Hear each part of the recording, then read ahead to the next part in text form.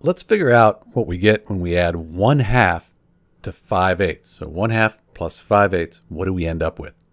The first thing we need to do is get these denominators to be the same. If we have the same denominators, we can just add the numerators here together and we're done.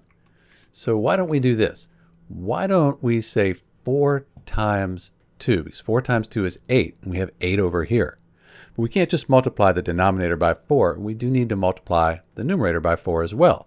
That's because 4 divided by 4 is 1. So we're just multiplying by 1. We don't change anything, just the way it's represented. Now, 4 times 1 is 4, and 4 times 2 is 8. So we have 8 in our denominator plus 5 eighths. And we can just, because this denominator is the same here, we can just add these numerators together for our final answer. 4 plus 5, that's 9, and then we just bring the 8 across, and we end up with 9 eighths. So 1 half plus 5 eighths, that equals 9 eighths. This is an improper fraction, 9. The numerator is bigger than the denominator here. Could change it to a mixed number. 8 goes into 9 one time. 1 times 8, that's 8.